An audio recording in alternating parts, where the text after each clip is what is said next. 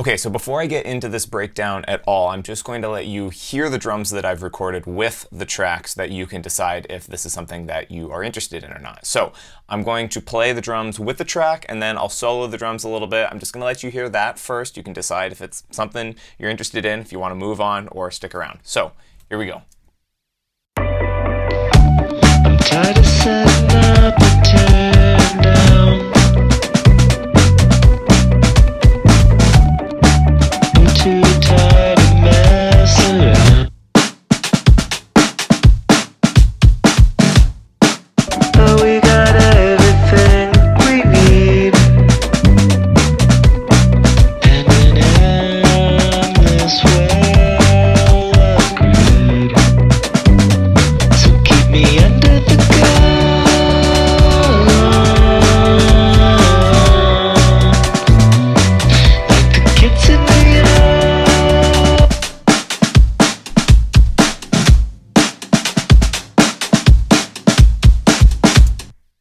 Okay, so you've got a taste of it there. You can decide if you want to stick around and hear um, sort of the breakdown on how I got that sound.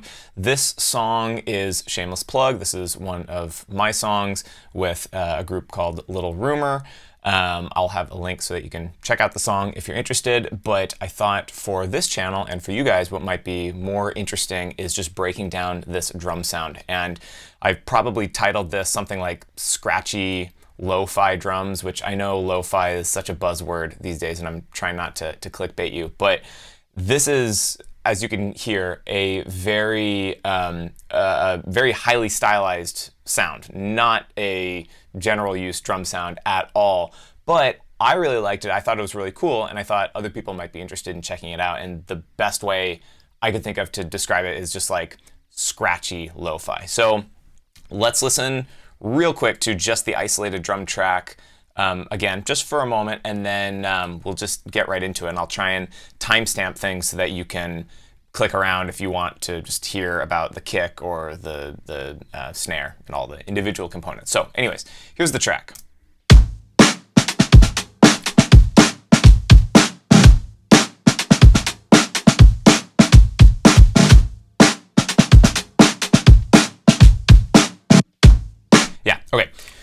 So, oh man, what's the best way to get into this? Let's um, let's just start with. Obviously, we've got a lot of bus processing on the drum track itself here, the uh, overall drums processing. You can see I have, um, we'll just quickly go through, I've got three uh, sources I'm working with for the kick, two for the snare, three overheads, two room, although I actually end up uh, not using the overheads. We'll talk about that in a sec um, floor tom, hi-hat, and then a contact microphone on the hi-hat as well, which is kind of a, a cool touch, I think. So anyways, um, I think I think what I'll do is I'm going to leave the drum bus processing on the whole time, and then I'll show you the dry kick um, the, the kick sources, and then um, I'll show you exactly what the bus processing is doing at the end. Actually, you know what, here, I'll just show you what the bus processing is doing now. I'm going to turn it all off on the drum channel here, and then I'll engage it, and then we'll go through the individual channels. So here's drums, no bus processing.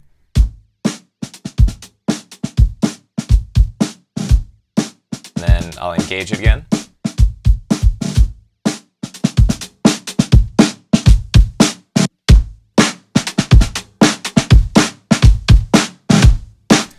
So it's doing a decent amount of work. Um, I think, yeah, you know what, let's just jump into it here. So let's go into it piece by piece. Um, the first thing I've got is the J37. This is by Waves. This is a tape emulation. You can do a lot of different things with this. You can use it for just like a little bit of coloration. You can do full-on heavy distortion. You can add wow and flutter and all, all that sort of stuff. Um, this preset, this mastering fat, tight, and open preset, um, I just I just like what it does. I it's it's hard to describe exactly what it's doing, but I'll just flip it on and off. It's subtle, but um, my ear tends to like it.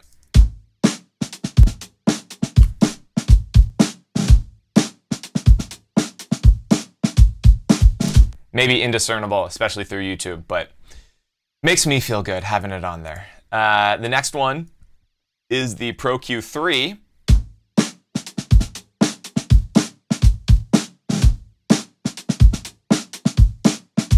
And I can't remember exactly why I've got this big boost here that's inactive. I guess maybe that was just something I was playing with, but I, I end up having a cut here around 60 hertz, and I believe that that is just to make room for the bass guitar.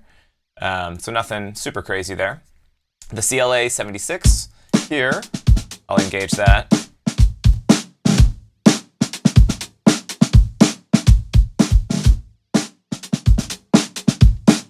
That's just kind of bringing things forward a little more in your face, just some regular 1176 compression. This is also the Waves one. And then Smack Attack. This is a transient designer by Waves that um, I also really like. This uh, does exactly sort of as advertised. You can control how much attack and how much sustain you want. And just adding a little bit of attack I have found to be very, very useful, especially in situations where I would normally use a compressor to try and um, get a little more out of the transient. This just does it um, much more easily uh, for me in some situations. So.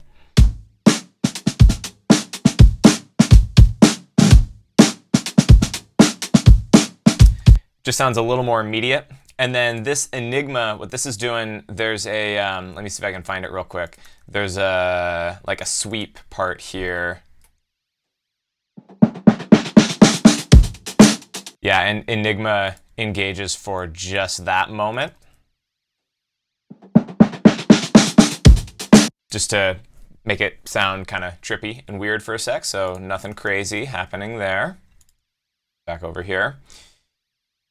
And then uh, iZotope Vinyl, which is all over this track. Um, this is a free plugin, um, and it's worth just messing around with the input gain, the output gain, and then the year knob here. I usually don't mess with anything else. You can do, you know, scratches, dust, and all sorts of other weird sounds. But even just engaging it um, dry, well, not dry, but just engaging it default settings can be really cool sounding. So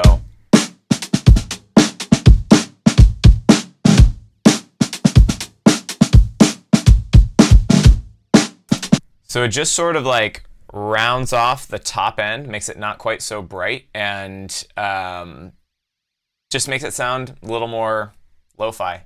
Hate to hate to use that term, but um, anyways, then we move on to the can can never figure out how to pronounce this. Q C Q. Um, anyways, with this, I'm, I'm adding back a bunch of high end. Go figure. I took away a bunch of high end from vinyl and then put it back in with this EQ. There's a lot of that. There's a lot of like pushing and pulling in that sort of way on here. But anyways,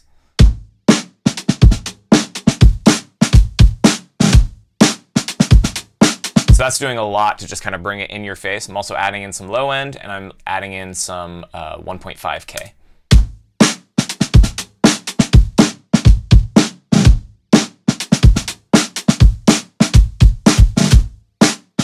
Then I've got this Q3D, which uh, Volko Audio. I got this for free. This thing, this thing's awesome. It's just, it's just an EQ, and I just really like what all these different bands do. You can kind of see what's going on here.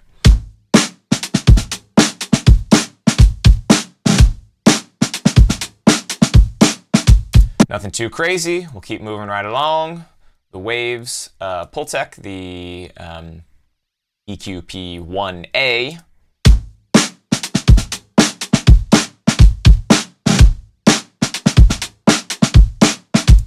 This is pulling off a little bit of high end, and it's also doing the low end trick that most people are familiar with now, where you boost and attenuate uh, at 20 hertz, 20 or 30 hertz, and it just sort of like shifts the low end. It just shifts it down, if that makes any sense.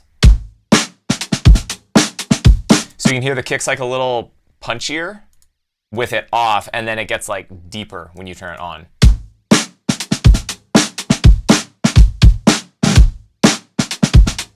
So that's what's going on there. And then this, this is something I just started using recently. This is called OTT, and this is a standalone plugin that I think emulates a, a preset of a compressor in Reaper, some other DAW, I can't remember, but this is like a very, very heavy-handed form of uh, upwards and downwards compression, so um, expansion and compression.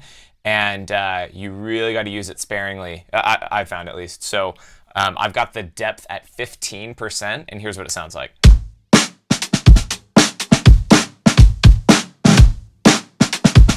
And you can see if I bring that depth up, it's pretty crazy.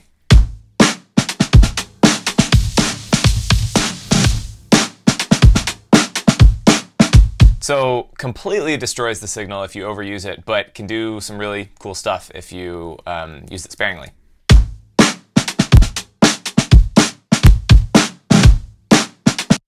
So, okay, that's the bus processing. Let's take a look at the kick, moving right along.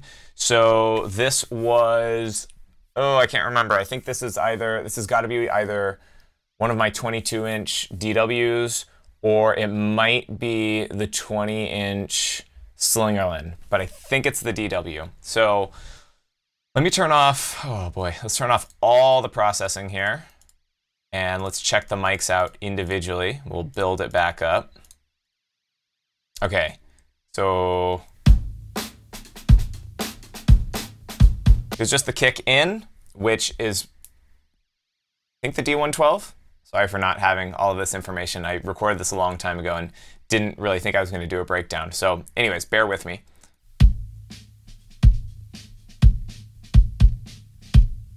That actually sounds like a D6 to me, which I sort of love and hate, and I think I may have just used it for this. So that sounds like it's probably a D6. And then got time adjuster just to um, mess with the phase and keep it in line with the other mics. Um, the kick out mic I don't use for this section. It comes in in the chorus to add a little bit of weight. So let's hear what the kick out mic is doing.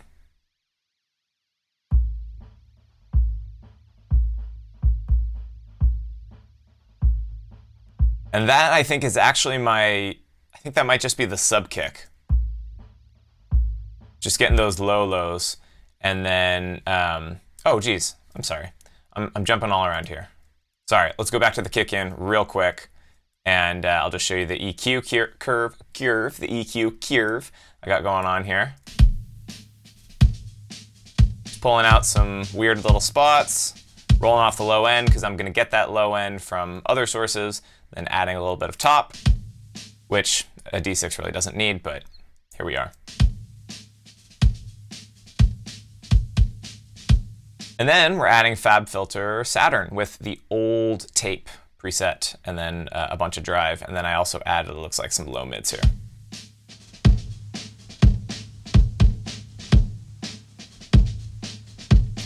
And that makes it not sound like a D6, which is good in my opinion. Um, and it sounds really trashy. It doesn't sound that good, which is kind of the point uh, on this record. So, Saturn 2. Okay, back to the kick out. Sorry about that. I know I'm, I'm scattered here. I'm all over the place. So the kick out, which I'm pretty sure is just the sub kick. That's a homemade one. Yeah. So you can see I'm really with the uh, EQ here, just filtering out everything that I don't need, all the low lows and most of the, you know, everything above um, 85. So I'm just getting this little bit of low end. And remember, this is only coming in for certain parts. So this comes in during the second chorus. So um, here, here it is, kind of the it blending with the kick in.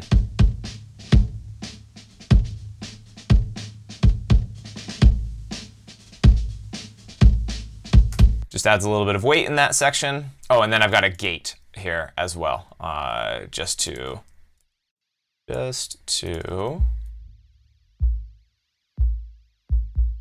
just to really tighten that up so I'm not getting all of this extra low, low end bleed. All right. So the worst mic that we've talked about many times in the past, um, this, I, I think I put it in the kick category because I ended up just sort of using it as basically a kick mic. It doesn't sound like a kick mic here, but as I put the gate on there, I think what I did was, yeah, I think I have this kick input going to the gate here so that the worst mic is only opening up with the kick. Yeah. And then EQing. And then throwing Saturn on there. Not as aggressive. I'm using warm tape here, not old tape. All three of them together.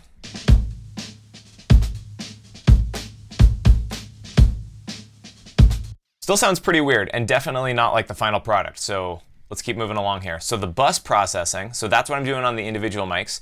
The bus processing, again, I've got time adjuster here because I think I was adjusting the overall signal to fit in properly with um, like the rooms or the overhead or something. Um, that's not really doing anything that's important here. Uh, I've got another gate. This is um, Gatey Weighty by Boz Digital Labs. I got this for free. I think it's pretty cheap uh, most of the time, though. And um, I won't go too much into it, but I, I really like this gate.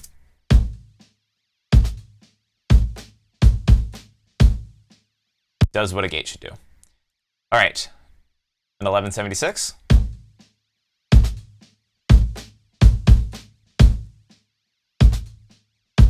Which actually isn't isn't doing any uh, gain reduction here. So I'm not sure, I'm not exactly sure why I have this on here, actually. I think maybe that was something I was going to use and kind of didn't. So anyways, moving along. Saturn, once again, one of my favorite uh, aspects of Saturn is that you can saturate different parts of the frequency spectrum differently. So what I've got going on here, I'm driving the top end, or I guess the mids and top end, more than the lows. But I'm also bringing the level up of the low end.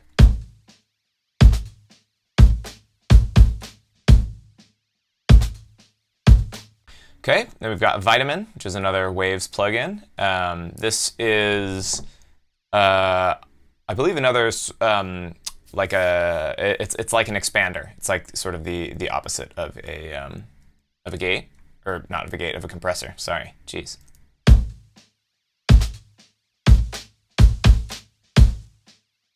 I'm just getting this like kind of punchy mid-range and high mid out of it.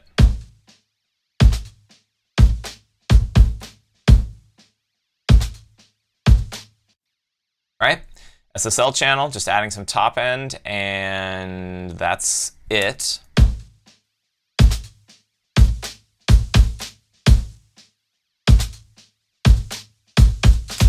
Smack attack, I'm really trying to tighten this up by pulling out some sustain and adding some attack.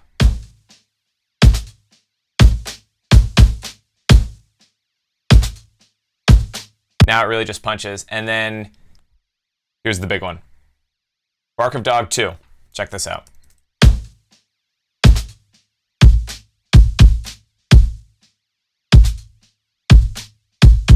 This is doing most of the heavy lifting. And to be honest, at least half of the kick signal is basically this. And all this does is, um, well, I, am not gonna I'm not gonna pretend to explain exactly how the uh, the plugin works, but what I'm getting out of it here is a big burst of 79 hertz uh, every time it hits. The boost is way way up, and yeah, so like half the kick signal basically is um, just a big burst of 79 hertz.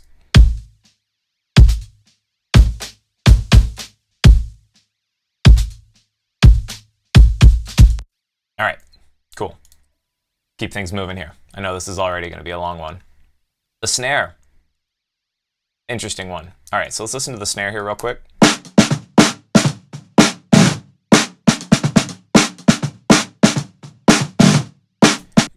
So this is like really where the, the scratchy sound comes from if we're talking, if we're calling this scratchy lo-fi drums. And um, I'm pretty sure it's a, um, a piccolo snare that my dad made for me. He cut down one of my old Gretsch snares. Not a nice one, a Gretsch Energy, don't worry. Cut down an old Gretsch Energy snare and made it a, um, it's like a, I don't know, it's like an inch or an inch and a half deep, uh, 14 inches. So it's just it's just any piccolo snare would do this. And then I've got it tuned kind of medium, and then I'm playing very lightly. I'm really not playing that hard at all. So let's go for the dry signal here. Um, let me turn off all dem plugins.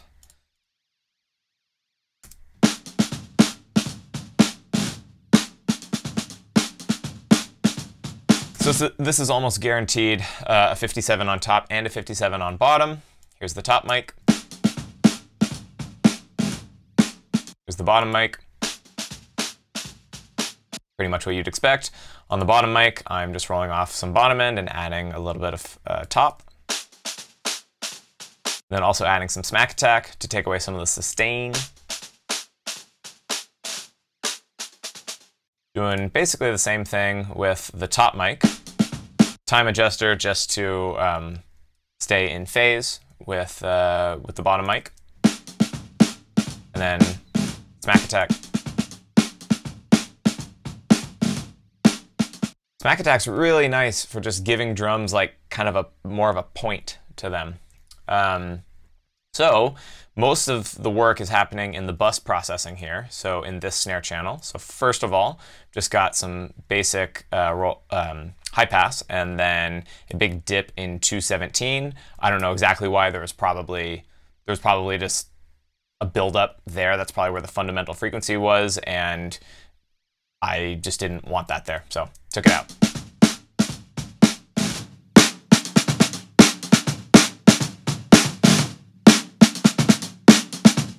Yeah, so that that is definitely where the fundamental is, and it actually adds a lot of weight to the snare, but that's kind of not what I wanted for this particular track. Uh, although it does sound good, maybe maybe I should have kept it in there. Anyways, moving along. Again, time adjuster, just phase stuff, gate. And this is kind of tough because I had to really try and get it right so that those um, little roughs would stay in there.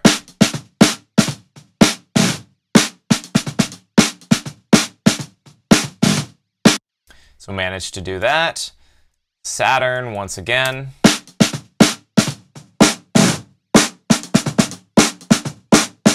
And this old tape preset really kind of starts to trash the signal um, in a good way. Another 1176, you're starting to see some themes here. I tend to get into modes where I use the same plugins over and over. I'm sure you all do the same. And then once again, just like the kick, I ended up not really using this for anything. Interesting. I don't really remember why that is. Anyways, uh, again, just like the kick, we are adding in some top end. And then look at this. Look at what a hypocrite I am. I pulled out all of that, um, that fundamental, and now I'm just adding some weight back in at 165.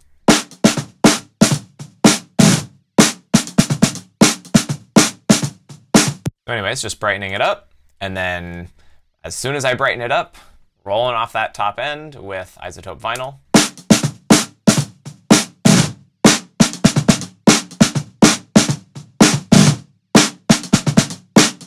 Now it really starts to sound scratchy because I've got this input gain up and the output gain down. Um, and this plugin in particular does something very cool when you push the input gain and then um, pull back the, the output afterwards. So anyways, uh, uh, uh, uh, this EQ, once again, from Soundtoys.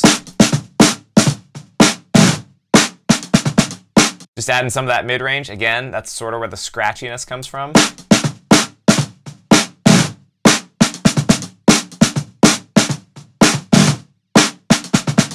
And then this thing, um, IVGI uh, by Klanghelm.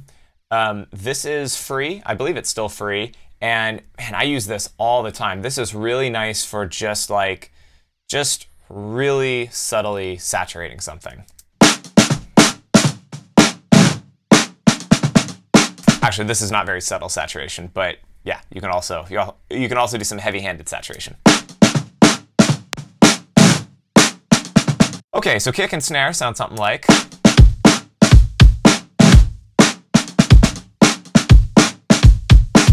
And I know this is already a fairly long video, so I'm going to try and uh, pace things well here. Now, the overheads I'm only going to touch on for a second because I ended up not using them. I was using three overheads, um, left, right, and center, which I've been really enjoying lately. They sound like this. Of course, with all the processing and everything. And I just ended up muting them. It just sounded, I wanted everything to sound really tight and focused, and it just sounded too roomy. It just sounded too, um, too ambient, and I just wanted it to be really, really tight and focused. So I just, I just didn't use overheads on this mix at all, which is probably a first for, for me at least. Um, the rooms, however, I did use, and I did use um, more in certain areas than others. So you can see they're automated to come up during certain sections. So let's let's look at the um, the rooms here. Super trashy. These are my Coles 4038s. Um, and the room, by the way, is the same blue room that if you've seen any of my videos in the past year or so, um, it's all in that blue room. So it's, it's it's like a medium-sized room. There's nothing really special about it, and I've got um, sound treatment everywhere, so it's it's fairly dry. Uh, taking all of this off sounds pretty normal.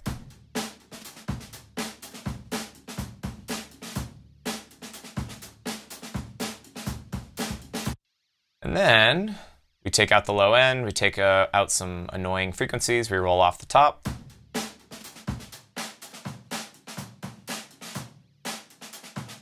Really tightens things up. Then we add Saturn and totally trash it.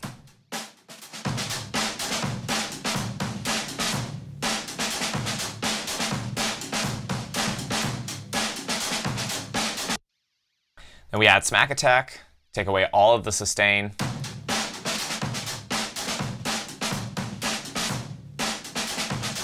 So now it sounds very unnatural, which I think is kind of cool. Then we add iZotope Vinyl.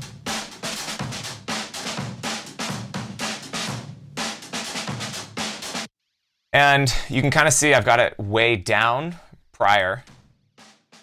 It's it's barely, barely there, and then it comes in during the chorus. So here, let me let me put it in with the kick and snare so you can hear what that sounds like.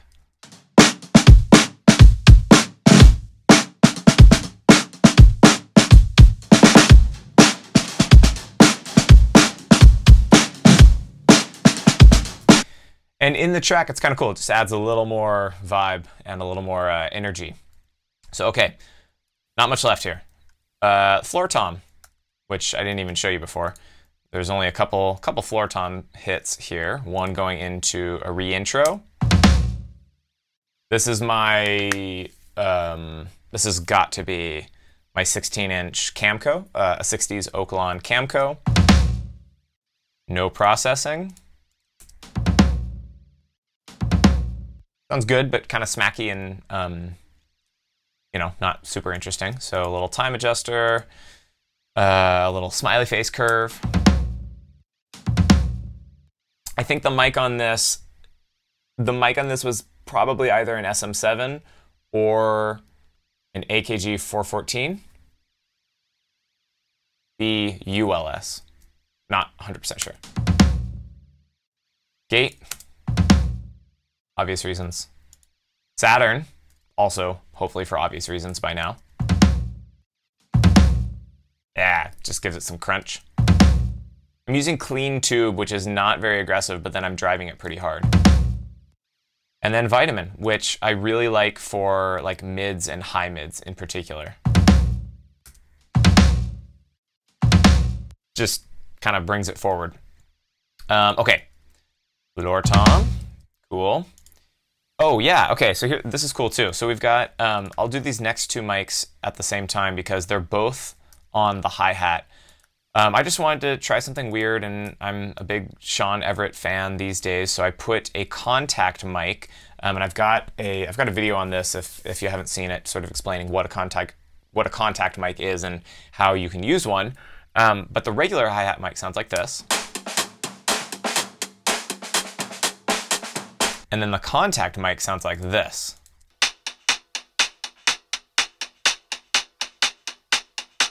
Pretty gnarly sounding on its own, but kind of cool in the context of a mix. So the hi-hat is an Oktava 012, um, and I'll just I'll just pop these plugins on. Here's here's what it sounds like dry. Getting rid of a lot of low end. Little saturation. I'll talk about this real quick. I'm not actually, I know the ratio's up here, but I'm not actually doing any compression here.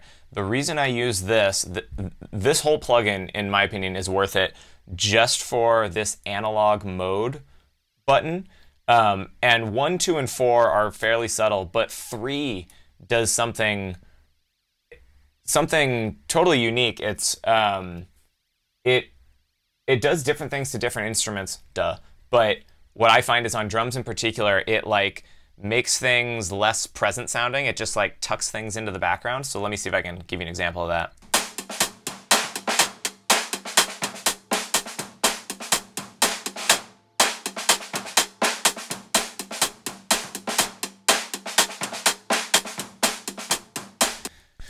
So hopefully you're using nice speakers or headphones. Um, it is definitely evident, but you know, if you're watching on your phone or laptop speakers, I, I don't know if that comes through at all. More iZotope vinyl.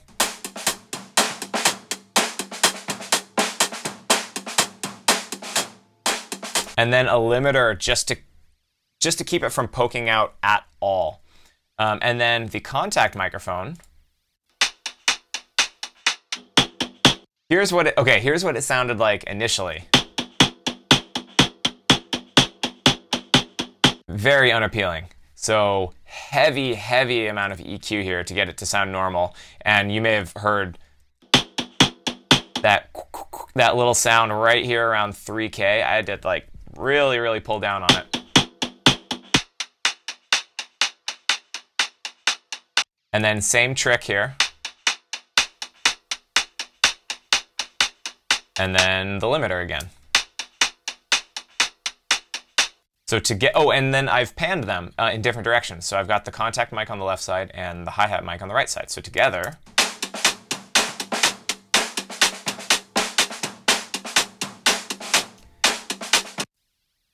and they they sound fairly unnatural, but that's that's kind of the point. This is not really meant to sound normal or like well recorded drums per se. So anyways, um, once again, uh, let me let me just jump into let's jump into the chorus here and let you hear a little bit of the track, and then I'll uh, solo and unsolo the drums, and then just some final thoughts here.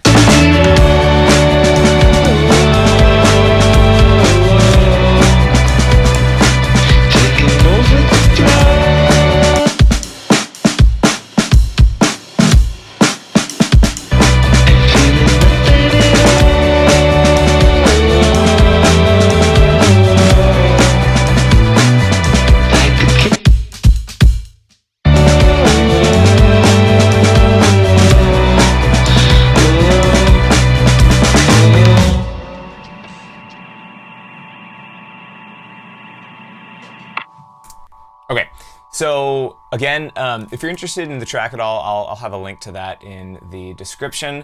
I also, I'm just noticing here that I did my due diligence and I got samples, it looks like. Let's check these out real quick.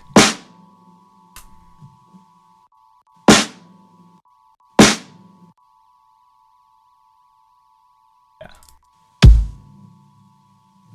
Yeah.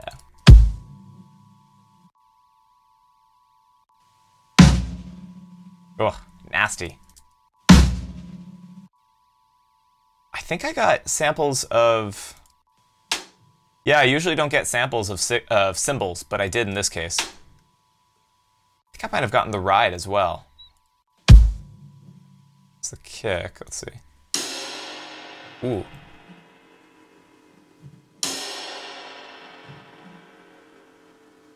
And you might you might be noticing some graininess kind of in the tail and some wobbliness. I think that's because I have um, I have some warp going on um, the room mic on iZotope vinyl, so it sounds just like gnarly and grainy and kind of wobbly. I think is kind of cool. So, anyways, um, I think that's it. This is already a fairly long video, and if you stuck with me this far, thank you so much for watching. Um, hope you enjoy. Hopefully, something in here is of interest to you. Uh, if I glossed over something, or if you have any questions uh, or want to know anything more, please don't hesitate to um, just let me know in the comments, and I'm happy to, to answer any questions. Um, yeah, thank you for watching. Check out the tune if you like it, and uh, I'll see you in the next one.